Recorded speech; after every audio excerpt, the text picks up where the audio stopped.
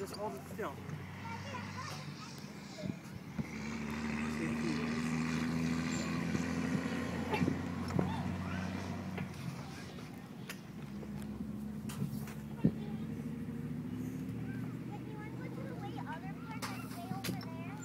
Twenty seconds.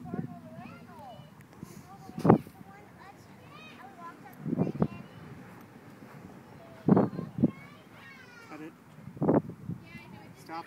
Stop it. Ready?